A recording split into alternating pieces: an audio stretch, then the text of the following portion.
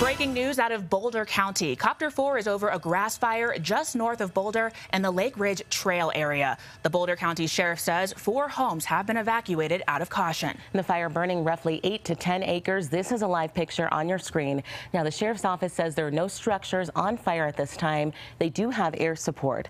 Highway 36 is closed between Nelson Road and Longhorn Road.